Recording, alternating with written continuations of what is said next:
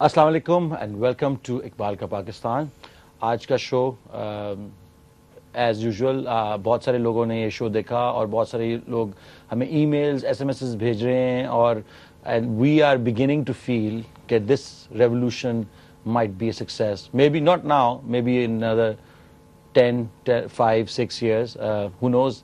Uh, जो main बात है वो ये है कि जो लोग हैं वो जाग रहे हैं इस रियलिटी के ऊपर और देखना चाह रहे हैं कि क्या आ, क्या चीज़ें उनको उनसे छुपाई गई हैं आज तक क्या क्या चीज़ें जो थी उन्होंने आज तक आ, इस्लाम डेमोक्रेसी और आज़ादी के नाम के ऊपर क्या क्या धोखे उनसे किए गए। और ये डॉक्टर इसरार खुदी जो है इसके थ्रू हमें बहुत सारी इन चीज़ों के जवाब मिल रहे हैं। हमारे साथ हकीम साहब बैठे हैं हकीम जैद हामिद साहब जो कि एक अब पॉपुलर आइकॉन बन चुके हैं यूथ कल्चर के और today we gonna ask him a very important question Zaid साहब सवाल ये बनता है कि आज़ादी क्या है जैसा कि आपसे डिस्कस हो रहा था शो शुरू होने से पहले तो इस पर थोड़ी सी रोशनी डाली देखो अली सारी जंग और जद्दोजहद दुनिया में जो इंसान हमेशा करते चले आए हैं for the sake of their dignity इज़्ज़त के लिए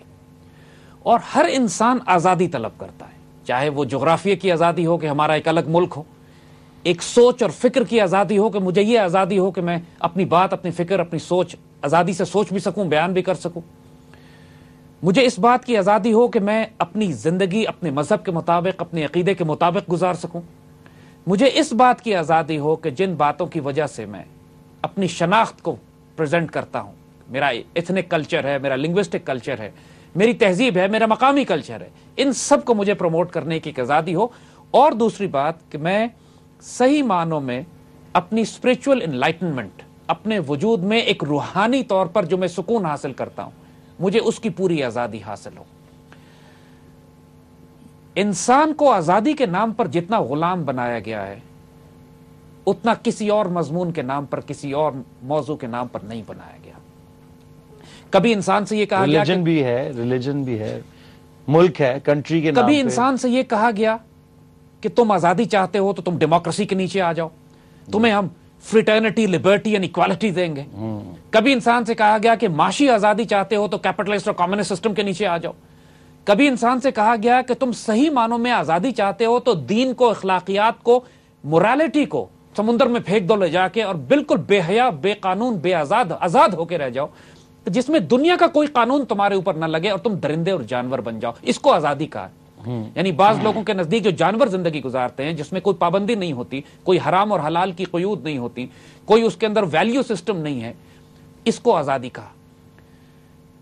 हज़रत उमर रज़ी अल्लाह के दौर में कि जब मुसलमानों की आइडियोलॉजी दुनिया में प्रमोट होने लगी तो लोगों ने पूछा उनसे कुफार ने भी सवाल किया कि आप क्या मैसेज लेकर आए तो जवाब उस वक्त उन्होंने यही दिया जो मोस्ट कॉम्प्रहेंसिव फैसिनेटिंग मैसेज है कि what Islam and Iqbal and Muslim stand for is कि हम इंसानों को इंसानों की गुलामी से निकाल कर अल्लाह की गुलामी में लाना चाहते हैं।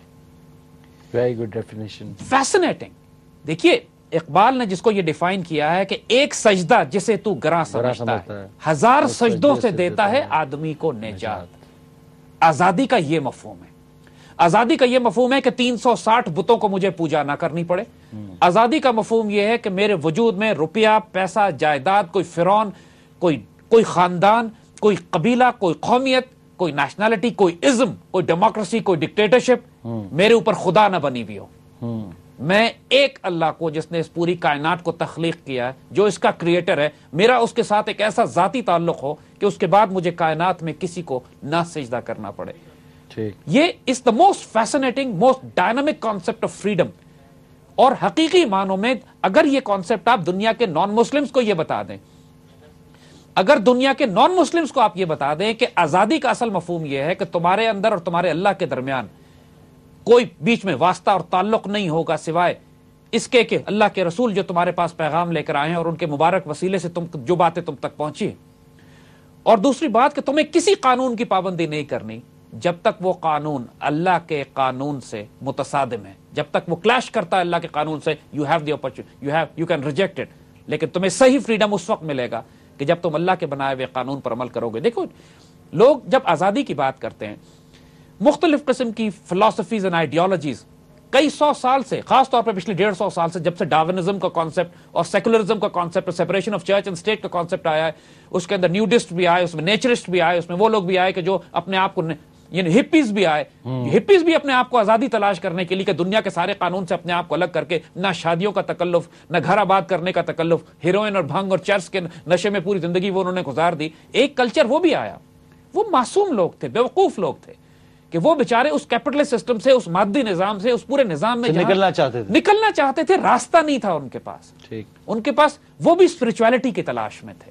लेकिन और बहुत सारे देखे जाते हैं ऐसे हिप्पी लोग जो कि स्पिरिचुअलिटी की तलाश में इंडिया जैसी जगह पे जाते हैं वहाँ पे आ, किसी साधु को देखते हैं वहाँ जाके हिंदुइज्म कबूल कर लेते हैं। फ्राइंग पैन टू फायर बेचारे उस कैपिटलिस्ट सिस्टम से निकल के जाते हैं और वो 260 360 बुतों को पूजा करने वाले हिंदुओं के पास फंस जाते हैं जाके। हाँ तो लाखों लाखों लाखों। सो द पॉइंट इज़ कि हर इंसान आज़ादी माँगता है। और आज़ादी की सबसे फैसिनेटिंग डेफिनेशन यह है कि आपको इंसान के बनाए हुए तमाम लॉज सिस्टम गुलामी से निकालकर आपको उस सिस्टम के नीचे ले आया जाए जो सिर्फ़ अल्लाह का बनाया हुआ है अल्लाह के रसूल का दिया हुआ है। इससे ज़्यादा आज़ादी कौन सी हो सकती है मुझे ही बताओ।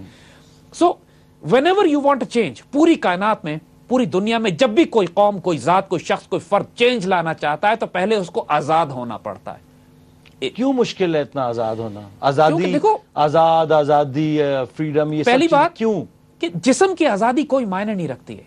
आप एक बंदा आज़ाद को जंजीरों में लपेट के जेलों में भी डाल दें तो वो बंदा आज़ाद रहता है क्योंकि उसकी सोच और उसकी फ़िक्र आज़ाद होती है।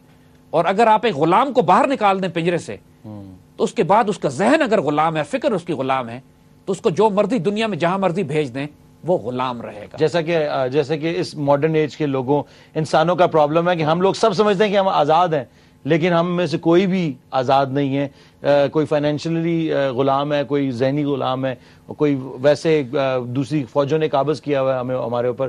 तो ये आज़ादी तो मेरे ख्याल से हमारे ऊपर किसी के भी नहीं और जो आप बात कर रहे हैं जिस कॉन्सेप्ट की मेरे ख्याल से ये this is the only way of attaining any sort of real freedom We're going to take a break, and once we come.